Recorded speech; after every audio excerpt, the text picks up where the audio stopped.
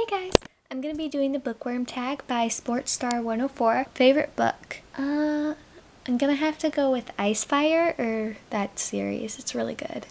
My favorite female character is Alaska in Looking for Alaska because she's just really unique and she thinks about life in like a really interesting way and she's just really bold and I really like her. Who is a character that you most relate to? It's kind of creepy, but it's kind of a funny story is like the definition of my life. So the main character, Craig, is um has depression and everything and he ends up going to the psych ward and that happened to me. And I was reading that in the psych ward and I, I got like in trouble for doing that, but whatever. If I could save one character, this is probably like really cheesy, but I really want to save Anne Frank because I've I just really love her. Even though it's not like a character, it's actually a real person.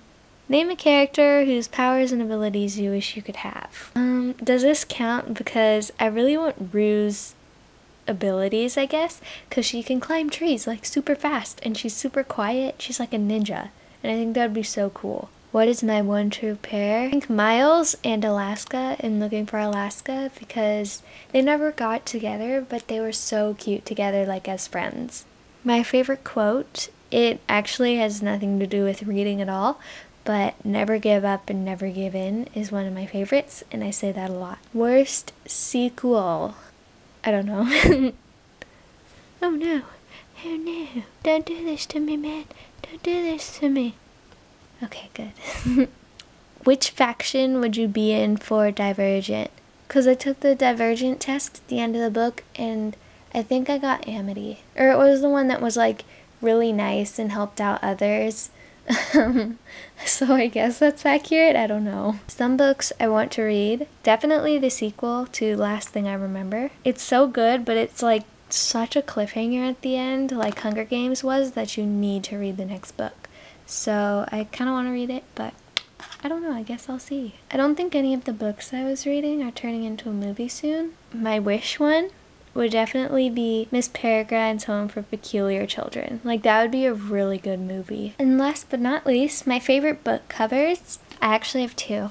I like Between Shades of Grey because, I don't know, I just really like the detail of her eyelash and the snow and everything.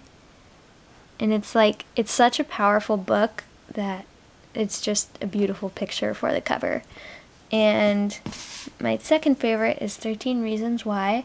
I don't know, I just think it's kind of unique and I really like the font and like the paint style and the picture of Hannah kind of looking off into the distance.